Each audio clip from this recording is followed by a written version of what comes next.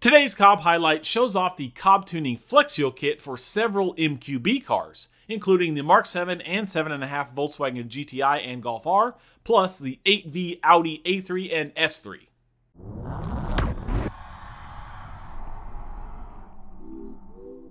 If Flexfuel is a mystery to you, we have tons of detailed info about it on our website.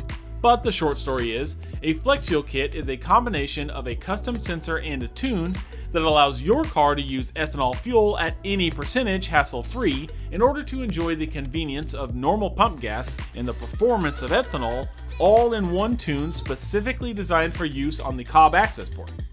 This kit includes an ethanol content sensor with a mounting bracket and spacer, along with a pair of fuel line adapters and stainless steel hardware and clamps that make it super easy to install the sensor into the factory fuel line.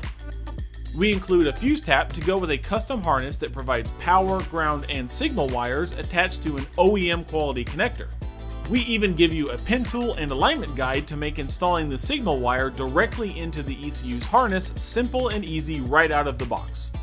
And the best part is that Cobb will provide an off-the-shelf Stage 1 Plus Flex Fuel map that supports ethanol blends up to E30 for use with this kit on the access port.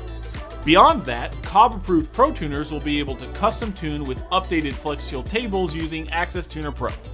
Tuning a turbocharged car with ethanol is basically free horsepower, but it can be a pain in the butt when you have to constantly change tunes and the amount of ethanol in your gas tank. The Cobb Tuning Flexfuel kit makes tuning for ethanol just as easy as tuning for pump gas.